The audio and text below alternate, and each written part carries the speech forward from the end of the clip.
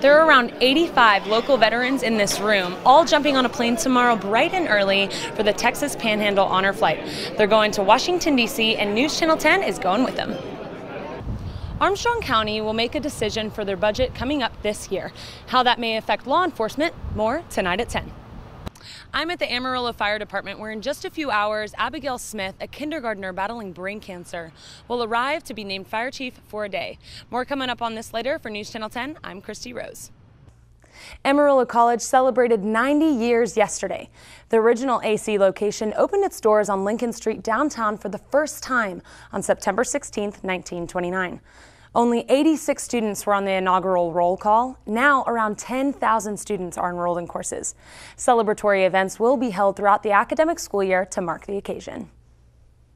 Happy State Bank is coming in like a wrecking ball, taking down the old AIG building. Coming up at 6, we'll tell you more about the plans that Happy State Bank has for this property. For News Channel 10, I'm Kristie Rose. The City of Amarillo just approved the Health Bridge grant.